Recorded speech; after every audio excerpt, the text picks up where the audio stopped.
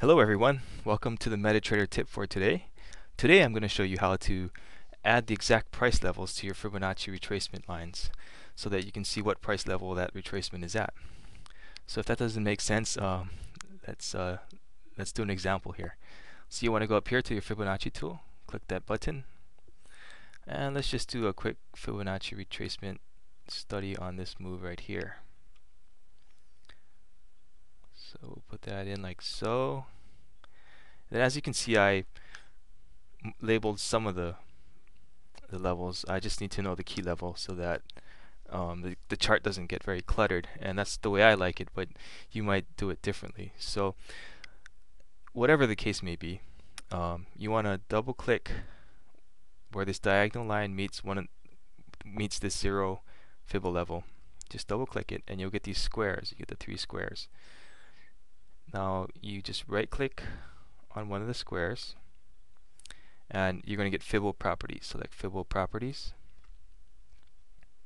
And this will bring up um, the, Fib the Fibble or Fibonacci uh, tool properties. So there's all different tabs, parameters, such and such. What we're concerned with is a tab called Fibo, Fibo levels. So in this case, I'll use the 38 2 Fibonacci retracement as an example.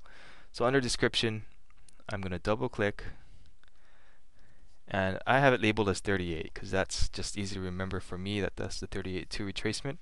But if I wanted the exact price in there, I could do 38 at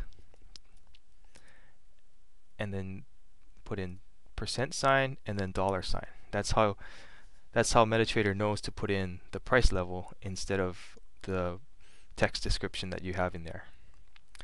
So you want to click OK you might have to click it twice. Click OK again. Okay, now as you can see, well, let's move this over a little bit so you can see a little better. Okay, so as you can see that it's 38 at and the price level of one spot 53686. That's the level that that's at. So if you're planning to trade the bounce or the break of that level, you could put your order in ahead or you could set an alert at that level, whatever the case may be but it's very helpful to be able to see that price at a glance. So I hope that helps you and stick around for the next MetaTrader tip.